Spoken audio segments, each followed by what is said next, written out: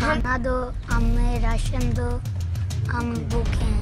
جی ناظرین ہم اس ٹائم موجود ہیں ایف ٹو کچی آبادی میں۔ یہاں پہ بہت سارے غریب لوگ ایسے ہیں جو بالکل انتظامیہ اور اپنا فلائی اداروں کے منتظر ہیں۔ وہ کہہ رہے ہیں کہ ہمیں نہ کسی نے کوئی آٹا دیا ہے۔ ماسک تو دور کے بعد کھانے پینے کے لیے کوئی چیز موجود نہیں ہے۔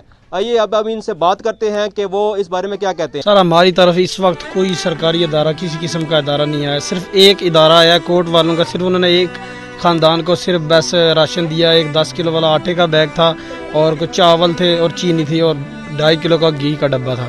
اس کے علاوہ آپ دیکھیں کہ اتنا سا وہ راشن دے کے گئے ہیں اور ادھر بارہ خاندان ہے تو وہ کیسے ایک کے ساتھ مینج کریں گے؟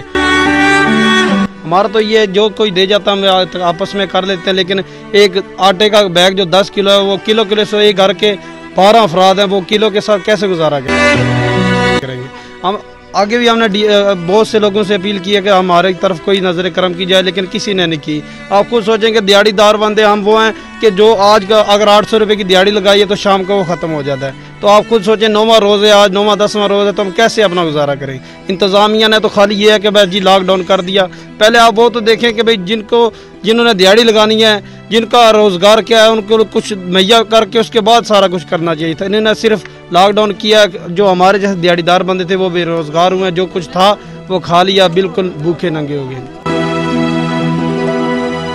ابھی تک کوئی طبی چیز نہیں پہنچی ہے ماسک نہیں پہنچے ہیں اور کوئی بھی انتظامیہ کا بندہ ہمارے پاس نہیں آیا ووٹ لینے کے لیے ہمارے پاس آتے ہیں۔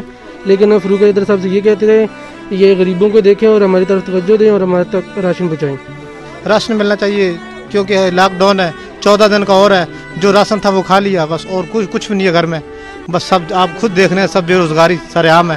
باہر جاتے ہیں، کچھ بھی نہیں ملتا، کیونکہ لاک ڈاؤن ہے نا۔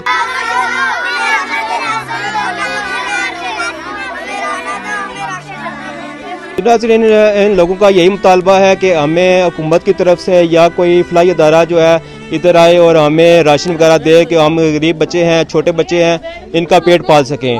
Majid Azam Sky News Mirpur Azad Kashmir. مزید خبروں اور اپڈیٹس کے لیے وزٹ کیجیے Sky News dot com dot P